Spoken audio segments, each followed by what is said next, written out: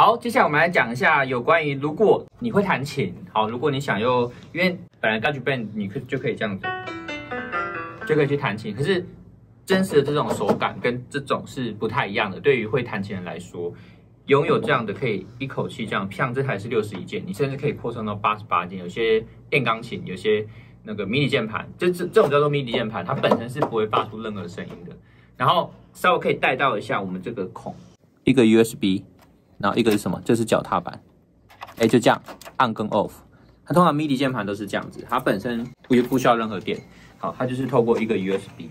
好，那我们来讲一下，如果说你今天想要透过 MIDI 键盘，或者是电钢琴，或者是电子琴，你想要输入到你的 iPad 里面的时候，记住跟我们刚刚前面上一课讲到的这个录音界面一样。你一定要找有资源、有资源的哦，有资源 iPad 或者是 iPhone 的手机或者是平板可以用，你才能去使用。不要买随便买一台，然后就这样去翻不能用。好，虽然都可以接，可是不能用就好笑了。好，那所以我们现在只是先示范，先开这个画面，然后怎么去接。它原则上很简单，记住一样都是这条线。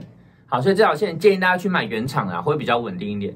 你总不希望就是自己在创作的过程当中，然后断断续续的吧？哈，所以这原厂的线会比较好。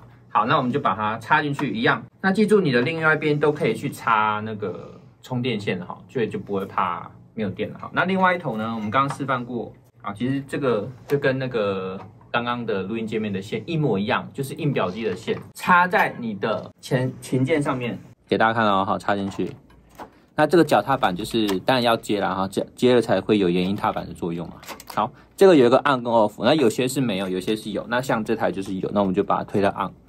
的这个位置，接下来呢，神奇的事情就发生了。好，原则上你可以先用这个按，确定有声音，然后我们请 Lacy 老师来示范一下，弹一个小蜜蜂好了。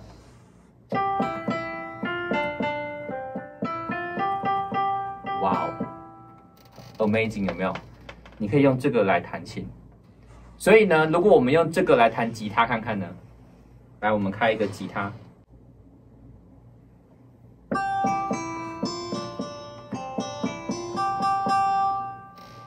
你们觉得不可思议？你会觉得很神奇？就是你可以用键盘直接弹琴、弹吉他，你甚至还可以用来弹古筝。弹古筝，我们来弹古筝看看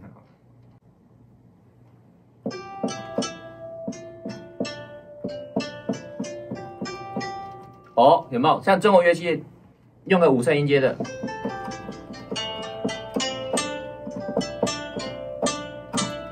你会发现这个就是很有中国风味道了。好，你只要选到中国的乐器，然后用五声音阶，然后五声音阶那些老师的课程也有跟你讲。好，不可思议吧？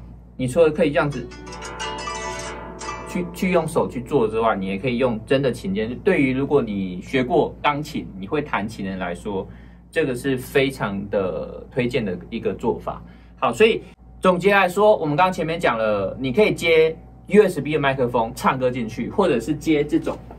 声卡的，好，声卡，你可以把麦克风接进去，好，一般的正统式的这种麦克风，因为一般的麦克风是走 XLR 线的这种可动线的麦克风，好，它是电容式麦克风或者是动圈式麦克风，也都都可以是接的，然后接上去，然后它一次就可以支援两轨，所以你可想而知，你可以一个边唱好，然后边弹，好，如果你是弹吉他的话。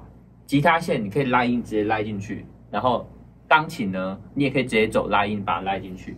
好，有的有些电子琴会发出声音的，好，有些电钢琴会发出声，你可以直接把它接进去。但有些电钢琴你可以支援 iPad，你就可以像这个直接接 USB 线就可以做好。那录音界面你还可以支援到两个喇叭、耳机，所以同时可以做双向的监听。好，最后一个你要接这种键盘，直接接 USB。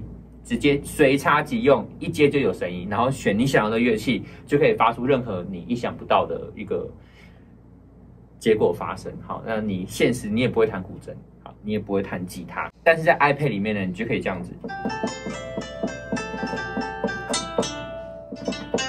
好，你可以用这个弹古筝，然后你可以做出属于你自己的音乐，属于自己的中国风，但是你真实你根本就不会这些乐器。好，所以数位音乐是很奇妙的。好，那大家继续往下学。好，你会学到。好，那我们再请 Nancy 老师跟大家介绍一下，就是最后你接下来开始要接触到这一个好，这个元宇宙了，好，这个 iPad 数位音乐，你大概会学到哪些内容？那我们这里面主要会有即时循环乐段，这里面就有非常多的风格，你点进去里面就会有非常多，它帮你原本就帮你做好的音乐在里面，你就可以自由去拼贴出你自己想要的音乐。那在音轨这边也有很多乐器，你可以挑你喜欢的乐器去帮你的旋律做伴奏。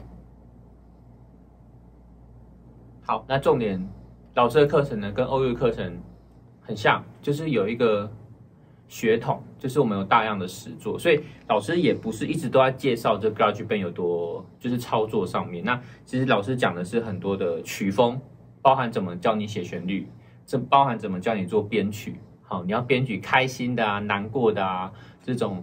EDM 的啊，大家最喜欢的舞曲啊，中国风的啊，有没有？然后教你用不同的乐器啊，这些都是等于是你用一台 iPad 哦，只要一台 iPad，你就可以做到这些所有的事情。